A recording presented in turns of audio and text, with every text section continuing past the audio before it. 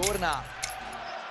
Più 4 per la Dolomite Energia Trentino che adesso attacca con Hackett, Spagnolo ancora in campo, 1.50 alla fine, Spagnolo cerca di disorientare con le finte primo marcatore, poi Atkins, il duello con Granger che ferma Atkins in modo irregolare, a mio avviso anche in questo caso forse Atkins avrebbe potuto sfruttare maggiormente il mismatch con Granger, invece errore al tiro, solo due liberi per i 44 che oggi sta viaggiando a 15 punti, 32 minuti sul parquet, 60% da 2 per lui, 100% dal largo con un'unica tripla tentata e segnata.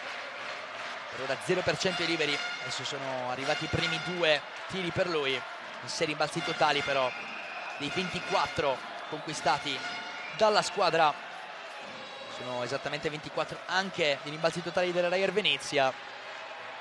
Il miglior eh, rimbalzista Medio Tessitori 7 esattamente proprio come nella partita vinta nello scorso turno contro Varese.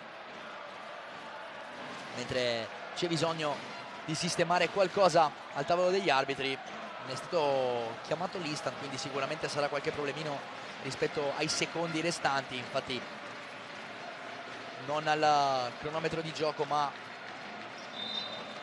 proprio i secondi a disposizione. Ci saranno comunque due liberi da dover battere da dover uh, tirare e cercare di segnare per Atkins per la Dolomite Energia che tiene questi quattro punti di vantaggio. Segna il primo Atkins percentuali di Trento da due si sono alzate moltissimo 65% Lockett intanto dopo l'errore di Atkins restando sul campo spagnolo. Dedica calma adesso il 9 Flaccadori e Atkins che si buttano nel pitturato. Flaccadori adesso esce a ricevere per questa tripla che non entra. Lockett ancora per il tap out. C'è il rimbalzo di Parks dopo l'aiuto di Willis. Quindi Granger che è rientrato al posto di Spissu a cercare di inventare qualcosa nella metacampo offensiva per la Reyer ancora Granger, finta di tiro, va fino in fondo. Udom, capolavoro nel prendere questo pallone. Poi Spagnolo non riesce a tenerlo in campo anzi lo ha toccato proprio quando era fuori. Granger vuole Willis pallone rischioso con Flaccadori che attaccava ancora Granger Lockett a disturbare proprio Granger va fino in fondo l'11 Lockett a chiudere Granger a inventarsi un canestro spettacolare bellissimo. 84-81 spagnolo Atkins a cercare di creare un vantaggio per il 9 adesso cambio di marcatura accettato con Willis differenza di gambe si è vista tutta Atkins poi non riesce nel tap-in Willis a rimbalzo Atkins qui sbaglia. In modo anche grave può essere importante quindi questo attacco per Granger. 37 secondi adesso alla fine della partita. Atkins sul numero 11 anche qui c'è gran differenza di rapidità di gambe. Granger prova a disorientare Atkins.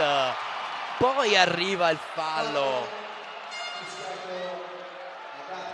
Col pallone che è uscito Atkins nella metà campo offensiva non riesce ad andare in tap-in. Qui invece regala tiri liberi con questo tentativo di andare in chiusura e di stoppare Granger. Comunque azione di disturbo che ha funzionato. Su 31 secondi alla fine ma con Granger eh, che può andare. Con questo triplice tentativo i fischi della BLM Group Arena. L'errore di Granger che con un po' di sfortuna sbaglia il primo. Usando un po' male. Adesso avrà un'altra opportunità come vi dicevo. Giocatore con passaporto anche italiano.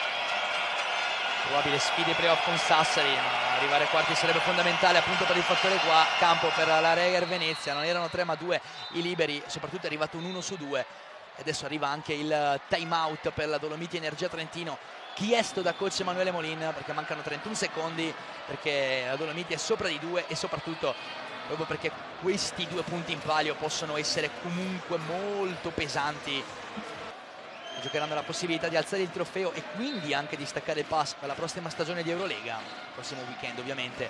Ultimo appuntamento, come vi dicevo, della regular season della Serie A Unipol 6, con tutte le otto gare in diretta su Eleven dalle ore 18 20 secondi alla fine Atkins perde il pallone Flaccadori non riesce a tenerlo. Attenzione a Granger Willis ha l'opportunità di andare da Moraschini. La schiacciata a 13 secondi dalla fine. Il pareggio. Che pasticcio della Dolomiti Energia Trentino che di fatto consegna questa opportunità di andare ai supplementari.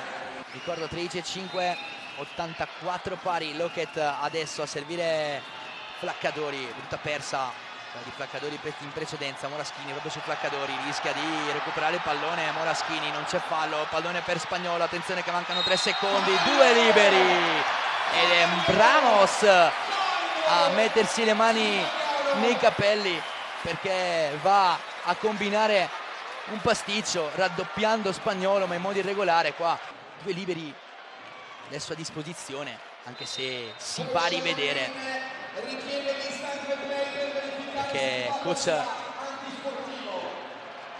Neven Spahia sicuramente non avrà gradito ma possiamo anche dirvi che si sta valutando a dire il vero l'antisportività o meno.